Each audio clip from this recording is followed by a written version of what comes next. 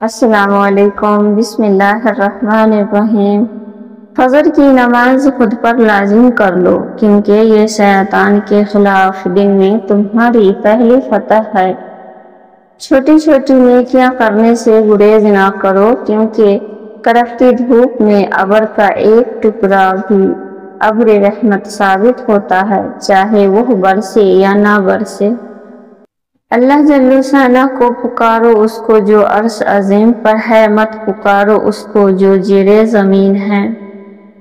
نبی کریم صلی اللہ علیہ وسلم نے فرمایا، اللہ تمہاری صورتوں اور اموال کی طرف نہیں دیکھتا، بلکہ وہ تمہارے دلوں اور اعمال کی طرف دیکھتا ہے۔ جملہ بہت چھوٹا ہے، لیکن اس کی طاقت بہت زیادہ ہے۔ اللہ کی طرف آ جاؤ۔ اس سے پہلے کہ اللہ تعالیٰ تمہیں اپنی طرف بلا لے اے اللہ، مجھے اپنی محبت میں ایسا مکمل کر دے کہ مجھے تیری رضا کے علاوہ کوئی چاہت نہ رہے۔ حضرت علی رضی اللہ تعالیٰ عنہ نے فرمایا، اگر نماز پڑھنے والوں کو علم ہو جائے کہ کیسی رحمتوں نے اسے گھیر رکھا ہے، تو وہ کبھی سجدے سے سب نہ اٹھائے۔ بدتمیز خطرناک نہیں ہوتے، بلکہ میٹھی چھوڑیاں خطرناک ہوتی ہیں منایا ان کو جاتا ہے جو ناراض ہو، جو مصروف اور بیزار ہو، ان سے دور چلے جانا ہی بہتر ہے۔ جب تم اپنے ماں باپ، بہن بھائیوں کے ساتھ بیٹھو تو الحمدللہ کہا کرو، کیونکہ کچھ لوگ ان لمحات کو ترستے ہیں۔ گھبرانا نہیں، اکیلے رہنے سے یا اکیلے ہونے سے، کسی کو کھو دینے سے یا ٹوٹ جانے سے کبھی نہیں گھبرانا، کیونکہ ایسا ہونے سے رب ملتا ہے اور جب رب ملتا ہے تب سب ملتا ہے۔ کبھی کبھی انسان بہت مایوس ہو جاتا ہے۔ ایسا لگتا ہے سب کچھ ختم ہو گیا، زندگی سے جڑی ہر خوشی فنا ہو گئی۔ لیکن پھر اللہ تعالیٰ ایسا راستہ نکال دیتا ہے کہ انسان حیران رہ جاتا ہے۔ بے شک وہ بڑی حکمت والا ہے۔ حدیث آپ صلی اللہ علیہ وسلم نے فرمایا، جب تمہاری اولاد بولنا شروع کرے تو اس کو سب سے پہلے لا الہ الا اللہ سکھاؤ۔ سیزا اور رشتہ دونوں نازک ہوتے ہیں، مگر ان میں ایک فرق ضرور ہوتا ہے۔ سیزا غلطی سے ٹوٹتا ہے اور رشتہ غلط فہمی سے۔ جنت والے جب جہنم والوں سے پوچھیں گے کہ کیا چیز انہیں جہنم میں لے آئی، تو وہ کہیں گے، ہم نماز نہیں پڑھتے تھے۔ سورہ مدثر۔ ہر خاندان میں ایک شیطان سخت مرد یا عورت ضرور ہوتا ہے، جو دوسروں کے ہنستے بستے گھر میں آگ لگانے کا کام سر انجام دیتے ہیں۔ ایسے فسادی لوگ اللہ اور اپنی آخرت کو بھول چکے ہیں۔ وہ اللہ کی دی ہوئی نعمتوں سے خوش نہیں ہوتے بلکہ دوسروں سے حسد کر کے، دوسروں کے گھر کا سکون برباد کر کے انہیں خوشی ملتی ہے۔ جب کبھی تمہارا دل بنا کسی وجہ کے اداس ہو جائے تو سمجھ جاؤ کہ تمہاری روح خدا کا ذکر مانگ رہی ہے۔ بے شک اللہ کے ذکر سے ہی دلوں کو سکون حاصل ہے۔ چومنے اور پوجنے میں فرق ہوتا ہے۔ رسول اللہ صلی اللہ علیہ وسلم نے فرمایا، اللہ کے گھر سے تین سو ساٹھ بتوں کو نکال پھینکا، جو پوجے جاتے تھے، اور ایک پتھر کو جما دیا جو چوما جاتا ہے۔ بے شک۔ کسی جاہل کے ساتھ تخت پر بیٹھنے سے اچھا ہو، کسی عالم کے ساتھ زمین پر بیٹھا جائے۔ دنیا کو خریدنا بے وقوف لوگوں کی تجارت ہے، امام علی رضی اللہ تعالیٰ موت انسان کو ضرور مار سکتی ہے، مگر اچھے کردار، اچھے اخلاق والے ہمیشہ زندہ رہتے ہیں۔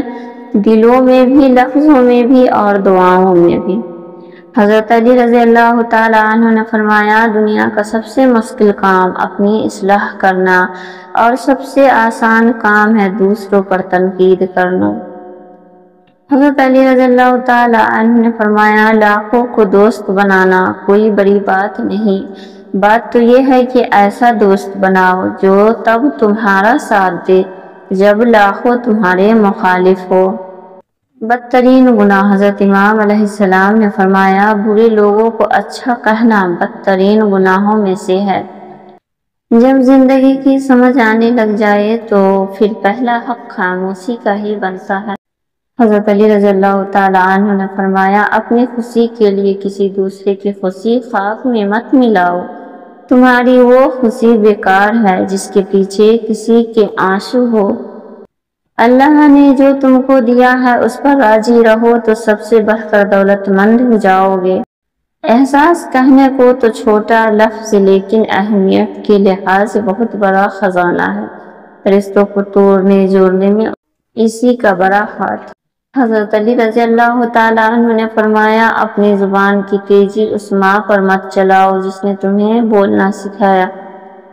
قرآن کی طاقت سورہ یاسین تمام خواہشوں کو پورا کرتی ہے، سورہ رحمان۔ چہرے پر نور لاتی ہے، سورہ واقعہ رزق میں کسادگی لاتی ہے۔ رسول اللہ صلی اللہ علیہ وسلم نے فرمایا، دلوں کو بھی جنگ لگ جاتا ہے۔ جیسے لوہے میں پانی پہنچنے کے بعد جنگ لگ جاتا ہے۔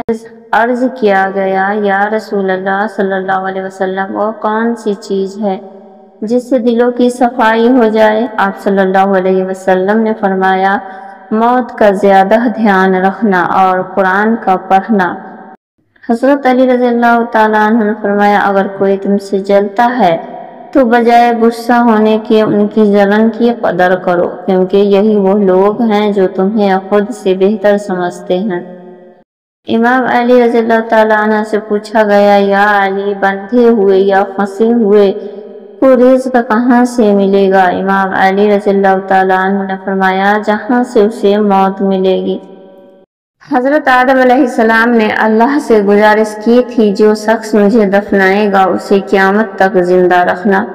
آدم علیہ السلام کو دفنانے والے حضرت خضر علیہ السلام ہیں، جو ہمیں نظر نہیں آتے۔ بغیر دواؤں کے سوتے ہو، صبح بغیر تکلیف کے اٹھتے ہو، بغیر کسی سہارے کے آتے جاتے ہو، بغیر کسی پرہیز کے کھاتے پیتے ہو، تو کہو نا الحمدللہ۔ جب آپ مشکل میں ہوتے ہو تو اکثر سوچتے ہو، اللہ کہاں ہے؟ یاد رکھیے، امتحان کے دوران استاد ہمیشہ خاموش رہتا ہے۔ مشکل وقت بھی ایک ایسا فلٹر ہے جو آپ کی زندگی کو منافق، لالچی اور مکار لوگوں سے پاک کر دیتا ہے۔ سچ تو یہ ہے کہ غیر تو پھر بھی بھرم رکھ لیتے ہیں، اپنے تو صرف تماشا ہی بناتے فرمان مصطفیٰ صلی اللہ علیہ وسلم انسان کے جسم میں گوشت کا ایک ٹکڑا ہے۔ اگر وہ درست ہے تو تمام جسم درست ہے۔ اگر وہ فاسد ہے تو تمام جسم فاسد ہے۔ سن لو، وہ گوشت کا ٹکڑا دل ہے۔ حضرت علی رضی اللہ تعالیٰ عنہ نے فرمایا، مذہب سے اگر انسانیت اور خدمت نکال لی جائے تو عبادت باقی رہ جاتی ہے، جس کے لیے رب کے پاس فرشتوں کی کوئی کمی نہیں ہے۔ حضرت علی رضی اللہ تعالیٰ عنہ نے فرمایا، طبیعت میں نرمی اور سخاوت انسان کو دشمنوں کے دلوں میں بھی محبوب بنا دیتی ہے۔